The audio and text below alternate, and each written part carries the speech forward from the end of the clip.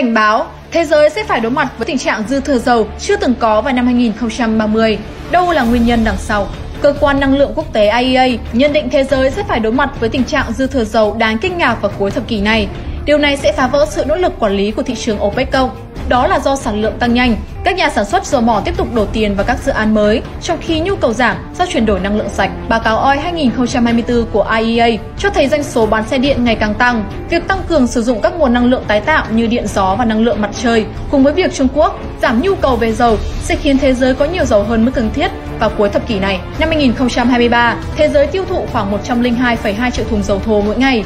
Dự kiến nhu cầu dầu mỏ toàn cầu sẽ chững lại ở mức 106 triệu thùng trong một ngày vào cuối thập kỷ này, trong khi khả năng cung cấp tổng thể có thể đạt 114 triệu thùng trong một ngày. Bắc Mỹ sẽ là khu vực có mức giảm nhu cầu dầu lớn nhất, có thể giảm 1,5 triệu thùng trong một ngày. Vào năm 2030, nhu cầu ở châu Âu sẽ giảm khoảng 1,1 triệu thùng trong một ngày.